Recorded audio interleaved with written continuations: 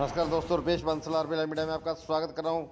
खबर बठिंडा से आ रही है। यहाँ के थाना नंदगढ़ पुलिस ने एक युवक को 1250 नशीली गोलियों सहित गिरफ़्तार किया है। देखिए किस प्रकार से यहाँ पर पुलिस को सफलता हासिल मिली है। नशा विरोधी अभियान के तहत पुलिस द्वारा यह कार्रवाई की गई है। पुलिस द्वारा एक युवक को 1250 नशीली गोलियों सहित गिरफ़्तार किया गया है। हमारे संवाददाता राकेश शर्मा द्वारा यह लाइव तस्वीरें में बठिंडा से भेजी जा रही है हम आपको दिखा रहे हैं बने रहे हमारे साथ देखते रहे हमारा चैनल हमारे चैनल को सब्सक्राइब करना न भूलें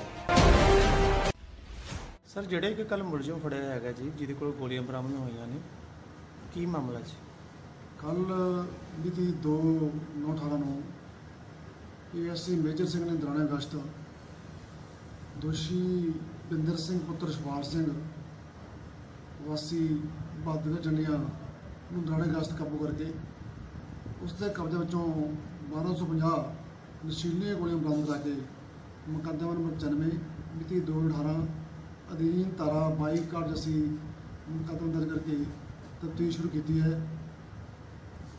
ਇਸ ਤੋਂ ਅੱਗੇ ਕੀ ਕਾਰਵਾਈ ਕੀਤੀ ਜਾ ਰਹੀ ਹੈ ਸਰ?